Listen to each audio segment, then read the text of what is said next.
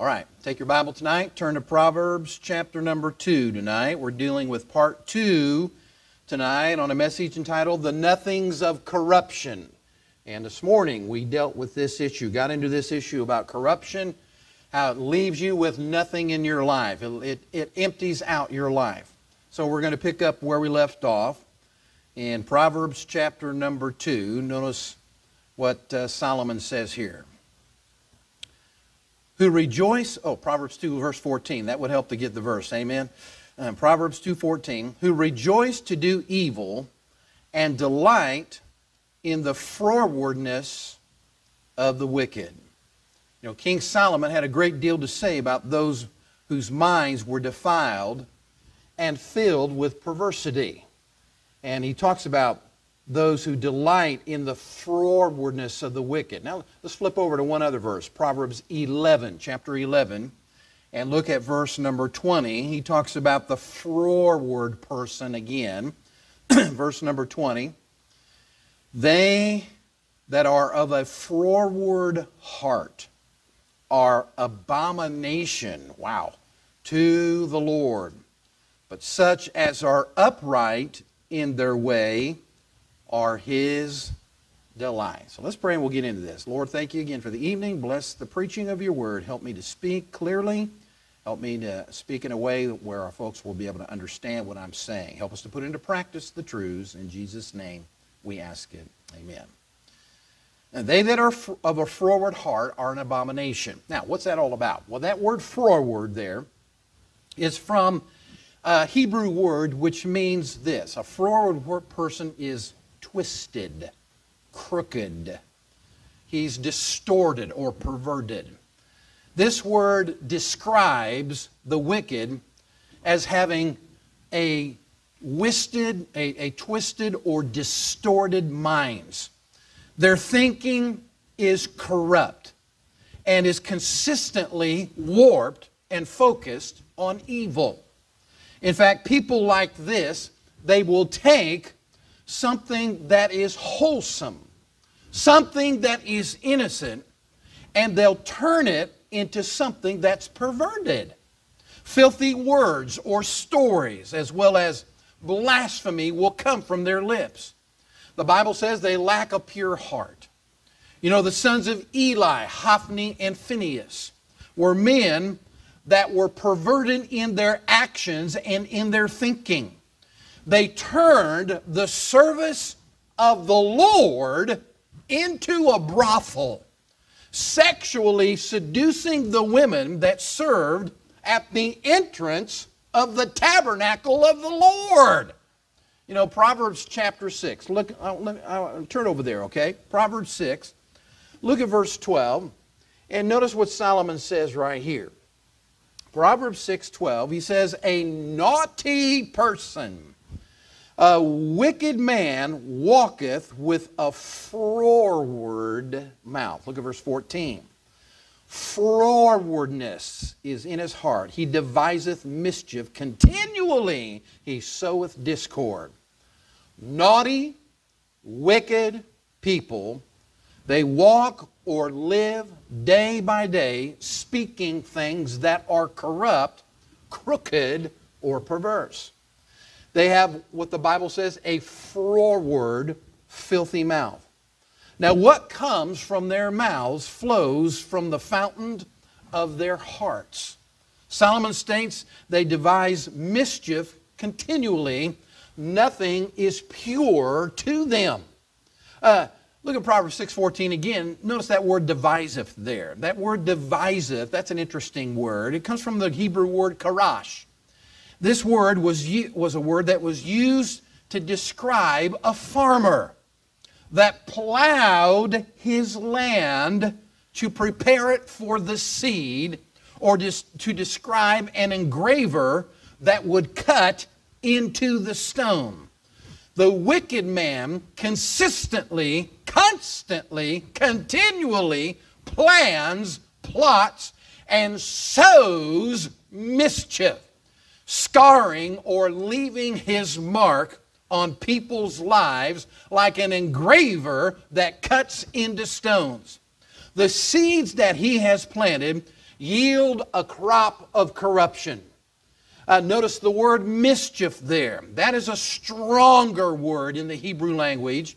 It's from the word ra, which means evil, distress, uh, misery, injury, calamity, adversity. The wicked, good for nothing person consistently thrives on creating pain and pandemonium for people. Two people that come to mind when I think about these verses are Ahab and Jezebel. Their legacy is one of corruption. Proverbs 4:16 says, "For they sleep not except they have done mischief." And their sleep is taken away unless they cause some to fall. Proverbs 16 27 says, An ungodly man diggeth up evil, and in his lips there is a burning fire. Wicked people get their kicks in doing evil things. I remember high school. And I remember those there were kids in school. They were they were bullies. And they seems like they just never could be happy unless they were hurting somebody or getting in trouble or beating up on somebody, just doing one thing after another.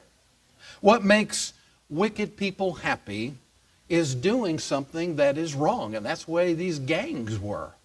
They think it's fun to indulge in perversity or perversion. And it doesn't make any difference if somebody gets hurt. If they get a girl pregnant, well, too bad for her. They don't care. If someone becomes a drug addict or a drunk, it doesn't bother them at all. People like this, they have a warped mind. You know, in the 16th century, did you know that children fairy tale stories were very violent, bloody, and gruesome? Because children in the Elizabethan times were considered miniature adults. They were not innocent at all, but hardened. The children were hardened by sin and the circumstances from life that they faced every day. They were exposed to filthy, vulgar language constantly. The lack of privacy in their crowded homes exposed them to nudity and sex. They witnessed drunkenness and they drank liquor themselves at an early age. Many of them were hardened by their sin, which snatched away their innocence. Their minds became defiled and unbelieving as well as their conscience. That's what was going on. Violence, cruelty, and death were no strangers at all to them as they witnessed in the public squares hangings and beheadings uh, of criminals and whoever was being put to death. They saw that. Man, people came out, they thought it was entertainment, many of them. It was not a good time to raise a child in that day. In fact, the harshness and the wickedness of those times were reflected in the stories of the children. They were violent and bloody just like they are today. Many people do not realize that the original versions of popular fairy tales were violent and gruesome and have been changed or toned down through the years. For example, the original Sleeping Beauty does not end happily once the princess is awakened by a kiss. Didn't end that way. Her troubles just began when she woke up. She was raped and abandoned, and her illegitimate twin children were threatened with cannibalism. That was the original Sleeping Beauty story. In the authentic version of Little Red Riding Hood, the wolf had to digest the grandmother when he pounced on Red Riding Hood and ripped her to pieces from limb to limb in that story. That's the way it ended. Unfortunately, we see the traits of vileness in children today. Many of many children today, many of them curse and use vile, filthy language. Some drink like sailors, not only in high school and junior high, they're drinking in grade school now. They drink like sailors. Many of them are addicted to drugs. A number of them are involved in sexual immorality or they have been raped by their family members. Sexual promiscuity should be no surprise because these kids today are being taught in our public schools how to have sex. And many of them have access to pornographic movies on their televisions and computers. They're, they're teaching our kids immorality in our school system, and they're starting in the kindergarten. It's been made law in the state of Illinois.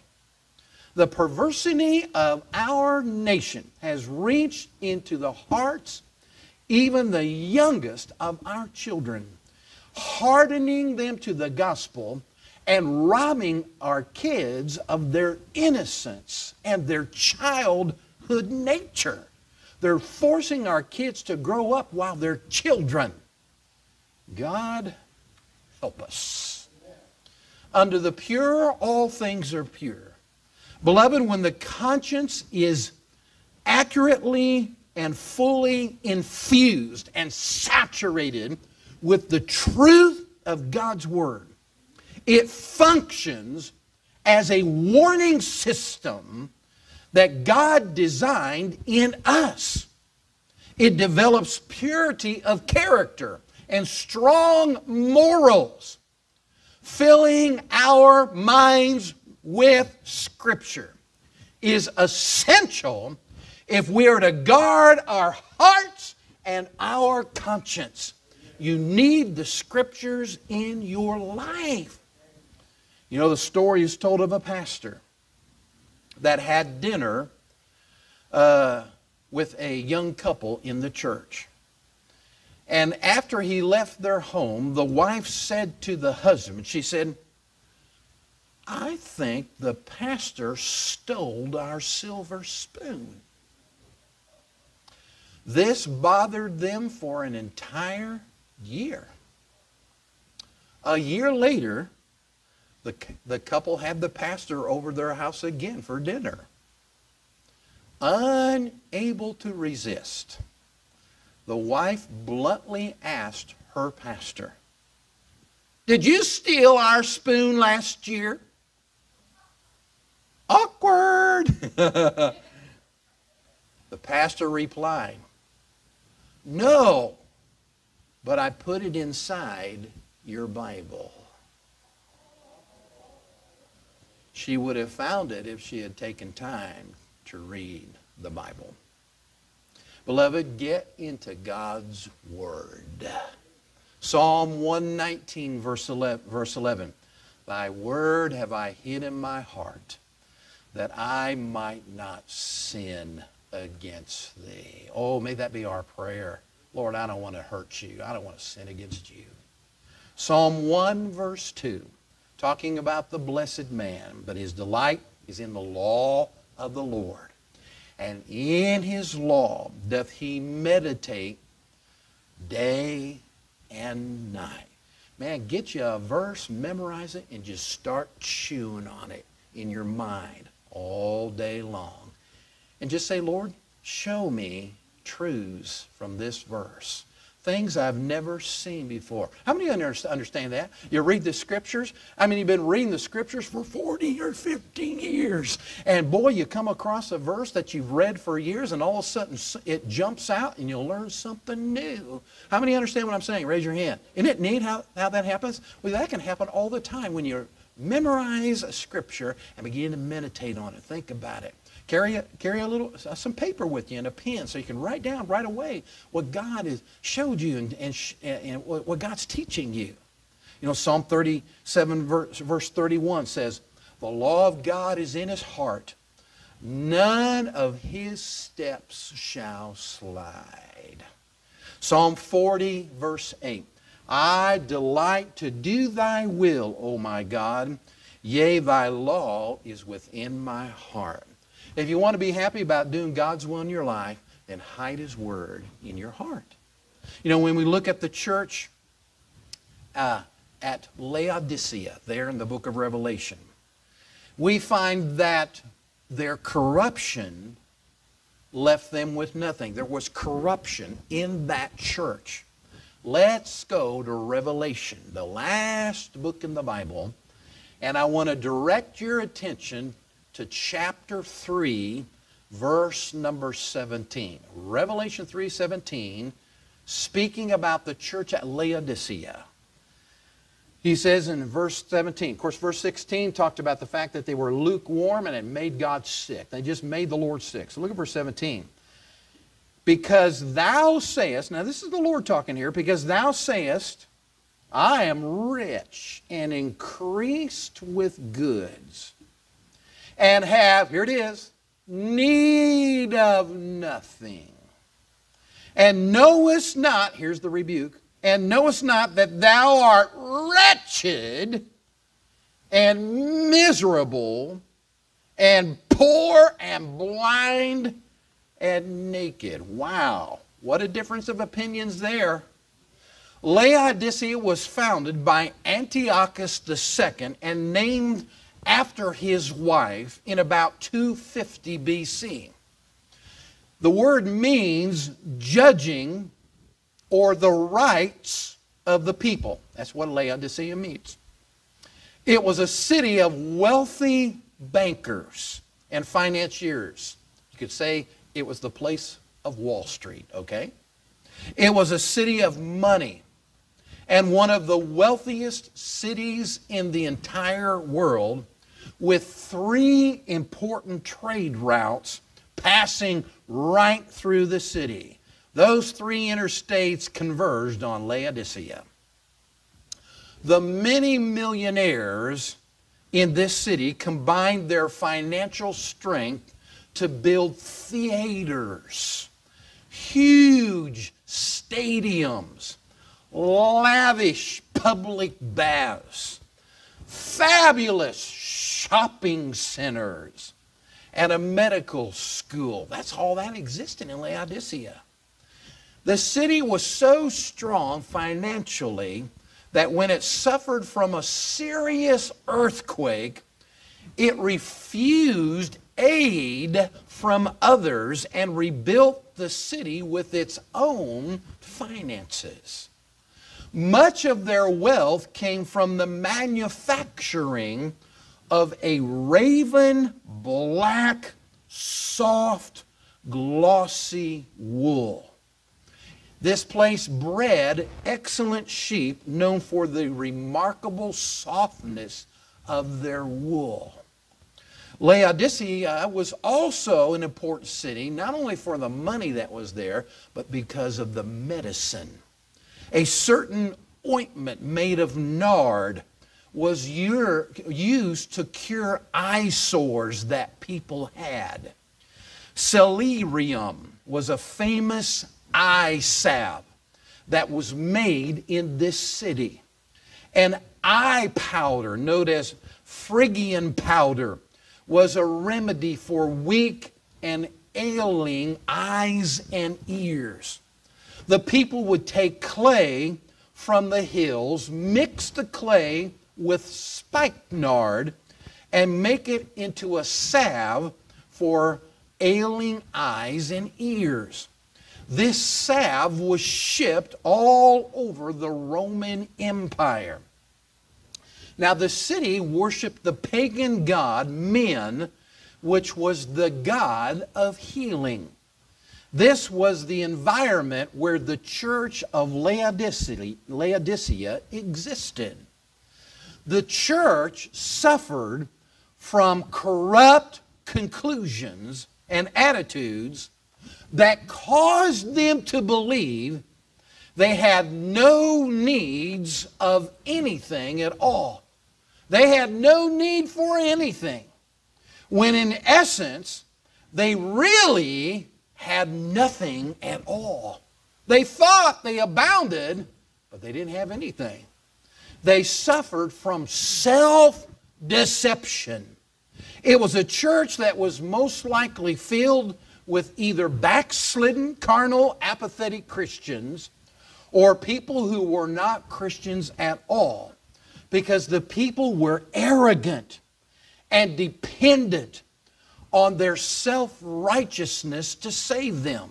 They claimed to be rich when in reality they were poor, even though they had gold and possessed great riches. The Lord told them, You're poor. You think you're rich, but you're poor. Their wealth clouded their thinking and gave them a false sense of security. Wealth will do that if you don't watch out. That can be a problem for those who are controlled by wealth and suffer from a self righteous, proud attitude. In fact, Proverbs 13 7 says, there is, there is that maketh himself rich, yet hath nothing. That's what Solomon said. Luke 18 11. The Pharisee stood and prayed thus with himself God, I thank thee that I am not as other men are extortioners, unjust, adulterers, or even as this publican. I fast twice a week. I give tithes of all that I possess. Yet this Pharisee had nothing because he had a pompous, self righteous attitude. Isaiah said it's a bunch of filthy rags. Romans 12 3 says, For I say, through the grace given unto me, to every man that is among you, not to think of himself more highly than he ought to think, but to think soberly, according as God hath dealt to every man the measure of faith. Well, the Laodicean church, they failed to do that. John 9 41, Jesus said unto them, If you were blind, you should have no sin.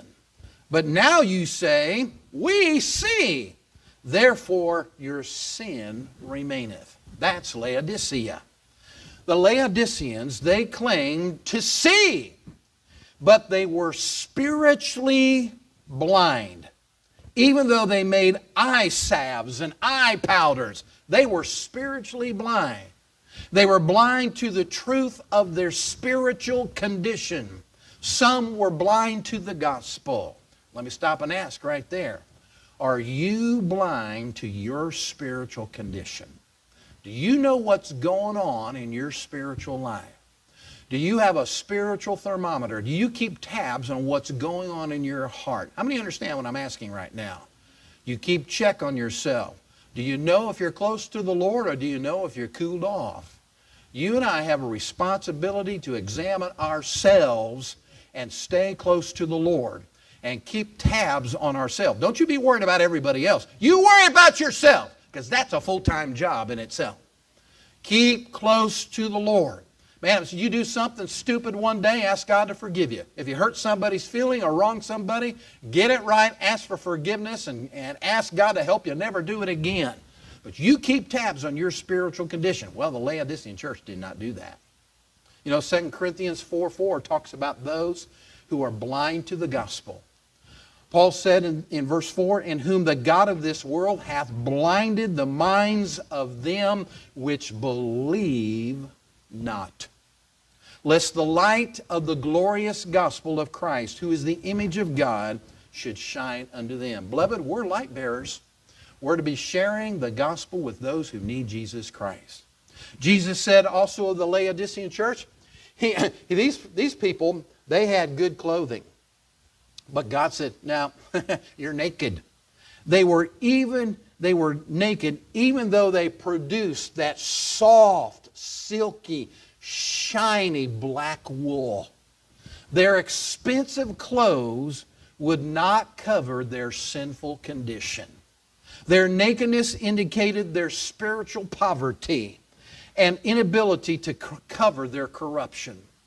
The Laodiceans, they were not satisfied with the promises of God. They endeavored to satisfy themselves with things, with possessions. They were like the dog with a bone that saw his image in a clear pool of water beneath his feet. The dog let go of his bone to take the bone out of the mouth of the dog in the water's reflection. And he ended up losing the bone that he had. So many people are dissatisfied with what God has given them and done for them because they are always wanting something else that will supposedly satisfy them. It won't. Just mark it down. The result is they do not enjoy the blessings that God has given to them, the blessings they already have. That was the Laodicean condition. Jesus said of these folks, You guys are wretched, which means distressed or afflicted. The Lord looked upon these people with pity. They possessed much of this life, but they had nothing for the life to come. Those who were backslidden and carnal would basically have no rewards coming at the judgment seat of Christ because they basically were just doing their own thing and not serving the Lord. And those who were lost in sin, they would not go to heaven because they did not know Jesus Christ as their Savior. When a person is a Christian, and that Christian is away from God, has cooled off spiritually, or if that person is not saved at all, that person is miserable. Oh, they may say they got their life together, but when you leave the Lord out of your life, you're going to be miserable. The unsaved sinner that dies without the Lord Jesus Christ will be miserable for eternity. They will always be miserable. They will be basically in agony as they will burn in the flames of hell forever and never get out. These folks spiritually were in bad shape. You know, when the Lord looks at our church, I wonder what our report card would be. I hope we're not in spiritual bad shape. I hope that everything we do here honors him and makes him happy. And I know there's always room for improvement as a church family. You know, Jesus said, because they were lukewarm, he would spit or vomit them out of his mouth. Their apathetic, arrogant, self-righteous condition made Jesus sick to his stomach. Oh, God help us. I hope, I hope that our church doesn't do that. I hope that, I hope that what we do here pleases him. And I hope that he's always honored here in whatever we do, in the preaching and the singing, even in the fellowship we have with one another, the spirit of our people, the spirit of Christ, the spirit of love for one another, and the spirit of that love for Jesus Christ. Man, I hope we never lose that. Corrupt conclusions and attitudes leave a person with nothing in the end. It leads to a loss of rewards at the judgment seat of Christ or a lost opportunity to be saved. May we, may we take heed to the lessons of the nothings of corruption. God help us to not make the Lord nauseated May we not stand before the judgment seat of Christ empty handed of his reward. May God use our church family to win the lost, to help Christians grow in the Lord, and to encourage Christians and encourage other pastors in this country and overseas just to keep on going, to keep on serving Jesus, because there's a lot of them out there that are discouraged right now. May God use us to do that.